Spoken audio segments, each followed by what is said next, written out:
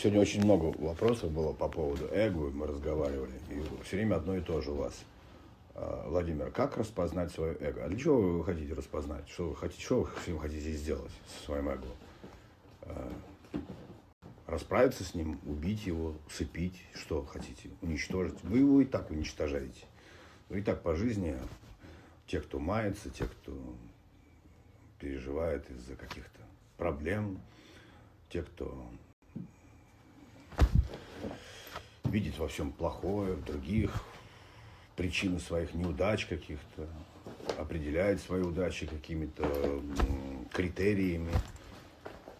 Это и есть все ваше эго, оно так делает. Даже если вы будете всех любить, и все у вас будет прекрасно, и будете наслаждаться жизнью, и будете находиться в, полном, в полной гармонии, равновесии, балансе, это тоже будет ваше эго. Эго есть все, все ваше эго. Все. Это вы просто наблюдаете работу своего эго. Это как ваш корабль космический, где вы нихуя не пилот или не капитан да, на корабле, и он несется непонятно куда.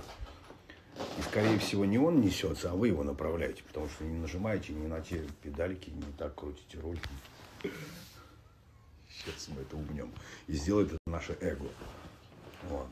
Оно может разъебать этот чемодан, а может сделать все очень аккуратнее. Например, вытащить все из чемодана, разложить аккуратненько, и все закроется. Или, рискуя жизнью этого чемодана, встать на него и ожидать, что он не сломается, и тогда закрыть. Но это раз получится, два получится, а потом мы его разъебем. И это сделает наше эго. Так вот, что надо сделать? Например, все разложить, но если времени нет, если другого чемодана нет, значит, где-то ваше эго вас наебало, когда выбирало вот такой чемодан. Понимаете? Или когда складывала туда слишком много. Или когда ты складывал туда слишком много шмоток, которые на самом деле многие из них не понадобились.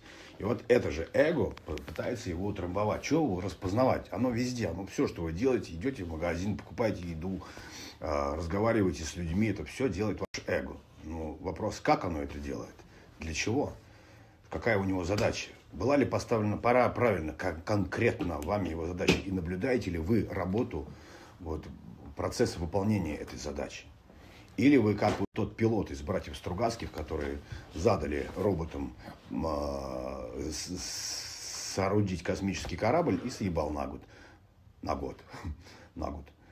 Вернулся и видит такую картину.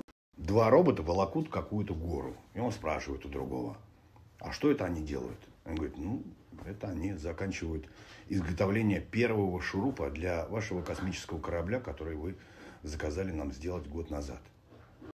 И тогда астронавт понимает, что он забыл задать параметры.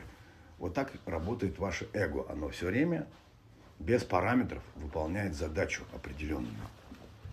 Например, выживание. А как вы это делаете? Как оно выполняет эту задачу? Корректируете вы сами. Вот как с этим чемоданом. Сегодня нам повезло. И наше эго, став на него всем весом, а, миновало поломку. И, собственно, ну, был такой опыт, что рано или поздно э, это приведет к тому, что, блядь, все вещи останутся на полу, и мы останемся без чемодана, например. Разлетится просто под весом, и все. Это сделает ваше эго. Поэтому в следующий раз наше эго, вот мы это распознали, наше эго берет, мы его направляем, мы не набиваем этот чемодан, а или покупаем новый, большой, или берем меньше вещей, чтобы не садиться на него всем весом и не заниматься, короче, маразмом. Не, не, не надо находить свое эго и что-то с ним делать, убивать его. Нужно распознать его работу и позволить ему корректно, задав параметры его задачи, корректно выполнить свою работу. Без ущерба вашему имуществу и здоровью. Потому что для эго абсолютно насрать. Останетесь вы здоровым и целым, и ваше имущество, или все это разъебется, и вы будете сидеть на обломках, и ваше эго все равно будет пиздеть вам, что вы самый лучший, самый классный, самый крутой, самый охуенный, хотя вы будете уже в полной жопе, как многие.